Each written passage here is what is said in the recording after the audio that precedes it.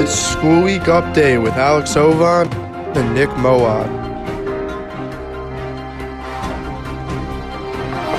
Thank you, thank you. Welcome to School Week Update. I'm Nick Moawad. I'm Alex Ovan.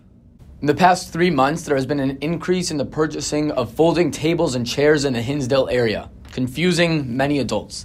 This could possibly be tied to the homecoming assembly where two folding tables were broken by two Hinsdale Central students.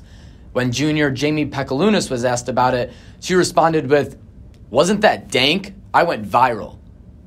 We're waiting to hear back from senior Jonathan Hernandez, who is still recovering from a severe shoulder injury taken from the fall.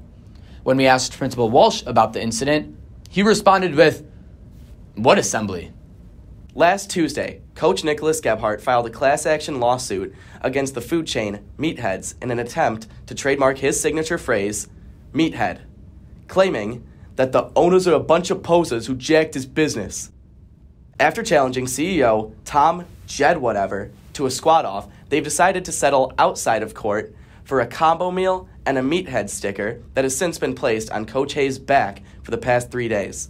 Recently, it has been announced that the summers of 2021 and 2022 will be extended three weeks due to the renovations that are being funded by the referendum. An outspoken proponent of these extensions are janitors Juan and Abelino, who now have more time to relax at their timeshares in the Calabasas. The school board has recently come under fire by students for proposing to remove select science courses from the science curriculum. Now, in a threatening response to the students, the board has proposed to add even more science courses than there were in the first place. These courses include sports science, where they try and find out why no one in LaGrange can throw a spiral, and teacher science, where they just study how long it takes Mr. Freiler to recharge every night.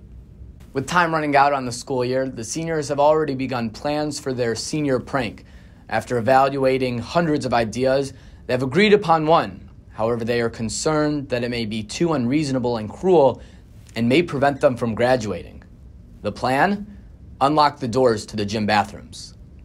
In other news, I got to be on my ceramics test. Ovan, that's not even. In local news, there has been an upstick of crime on the mean streets of Hinsdale. However, the police ensure everyone to stay calm as they have, at the least, the fire hydrant on Grant Street under tight control. You have to hand it to our officers, however. Just last week, they apprehended a high profile criminal on our very campus. The crime? Turning left out of the parking lot. What would we do without them? Probably turn left out of the parking lot. As tensions are constantly rising between LT and Hinsdale Central, and former President Lauren Hughes has left our school in complete turmoil, students are beginning to worry for their rank as a top school in the nation. Here to speak on it is political analyst Zamaan Qureshi. Thank you for having me. In my humble opinion, I believe Who us cares as- about your opinion? No one.